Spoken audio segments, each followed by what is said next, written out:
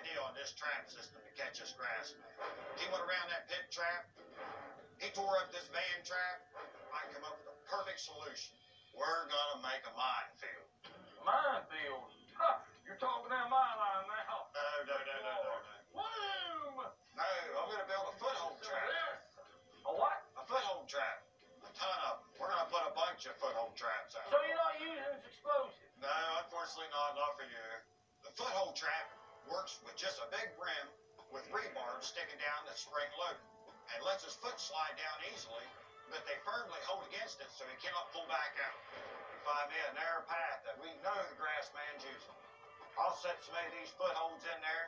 He couldn't dance through there if he knowed where they was at. Listen, we're gonna build for 20, 30 of these, man. We got a bunch of work, brother. Yes, sir! Yes, sir! Put this one in here first. Never ceased to amaze me on these he's built. This old he got is a humdinger. Once that foot goes down in there, them hold against that foot, there's no way he can pull his foot back up out. We'll, we'll see how he tears that one. That's the first one. We got a bunch more to make. That's what I'm talking about. He's our meat. You hear me? Let's get started.